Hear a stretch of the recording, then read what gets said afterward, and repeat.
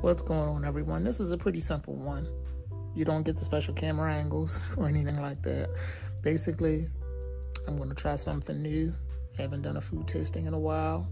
I'm hungry. Figured I would use my Rofo points for something to get something for free. So, we are going to try the all day, well, I guess it's called the breakfast burger, but it's available all day. So it's all lumped together in wording. Anyway, I'm going to switch the camera over. We're going to take a look at it, switch it back, try it. Very simple. See what it's about. The combination of food that entails the breakfast burger is nothing special. It's nothing unique. It's just a bunch of different items all rolled into one. We're going to open it up so that I can show it to you.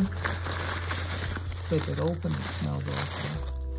And here it is. This is the uh, breakfast burger. You've got your burger patty, you've got your hash brown, you've got your bacon, your cheese, and your egg.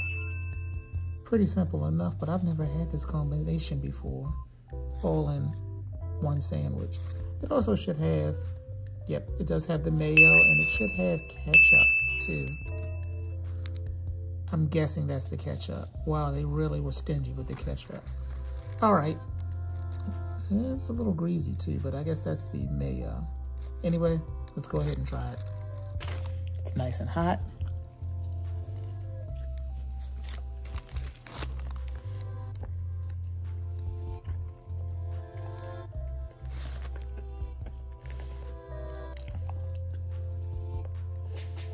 That's a good combination. I would never think to put, I've never had egg on top of a burger before.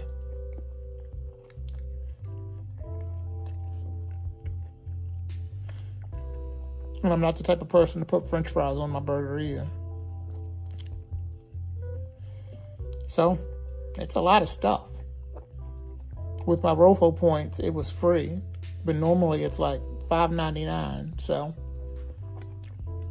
I save a lot getting this. It's 400 Rofo points, by the way. I like it. There it goes. Get it all in one. That's good. That's very good. That's all I want to do. To give it a shot. I can only imagine. Now, Rofo, their hash browns are okay. I feel like if you had had that sandwich with like a McDonald's hash brown, ooh, that would have been awesome. Bacon good. Nothing wrong with the bacon. And, and, and Royal Farms, their hamburger patties, they're fine. The egg is fine.